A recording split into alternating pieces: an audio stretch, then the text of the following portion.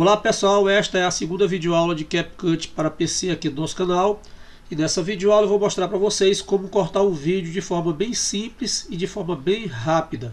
Então para isso eu vou primeiro importar o meu vídeo. Eu vou selecionar esse vídeo aqui TRC 517. Agora eu vou clicar aqui adicionar faixa à linha do tempo. Pronto, meu vídeo já está aqui na linha do tempo. E agora, se eu quiser é, cortar um pedaço do vídeo, eu vou aqui arrastando a agulha aqui, ó, e selecionar o local que eu quero é, cortar. Por exemplo, vamos supor que eu queira, queira cortar é, aqui no início aqui é, do botão inscreva-se desse vídeo, que assim mais ou menos. Então aqui eu vou clicar em dividir,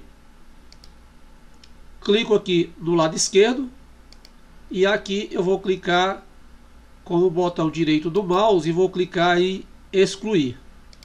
Pronto, já excluiu, já excluiu a parte é, inicial do vídeo. Se eu quiser excluir a parte final do vídeo, é a mesma coisa. Clico aqui sobre o vídeo, vou clicar em dividir, vou clicar agora em cima da parte que eu quero excluir. Posso tanto clicar aqui nesse botãozinho excluir, como com o botão direito do mouse, clicar em excluir. Ficou só a parte central.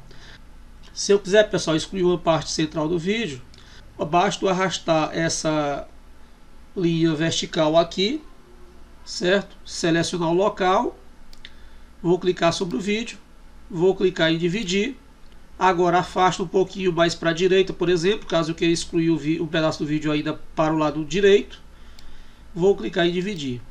Então, observe que na parte central tem uma parte de destaque, eu posso clicar aqui no ícone de excluir, ou eu posso com o botão direito do mouse clicar em excluir e vou excluir a parte que está no centro do vídeo que eu cortei é, anteriormente.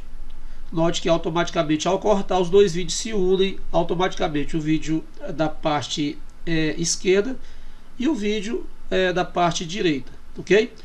Valeu pessoal, nesta videoaula era só isso. Teremos outras videoaulas para vocês de CapCut para o PC. Aguardem!